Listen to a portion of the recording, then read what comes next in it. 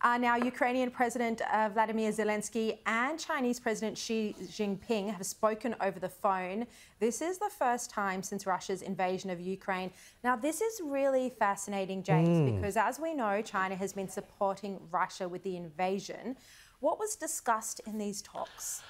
Well, look, I mean, the readouts of the call suggest that they had quite a serious and substantive conversation, but China underlined, Xi Jinping seemed to underline a few big things. Um, you know, number one, it wants to be a player in all of this. So China definitely wants to have leverage um, around this to strengthen its own diplomatic position globally. Number two, some of the messaging seemed to be that this was a cleanup from what China's ambassador to France was saying the other day about not recognizing the sovereignty of post-Soviet states. Um, but number three, the really interesting thing was that he that Xi said, well, you know, we must do everything we can to prevent great power conflict.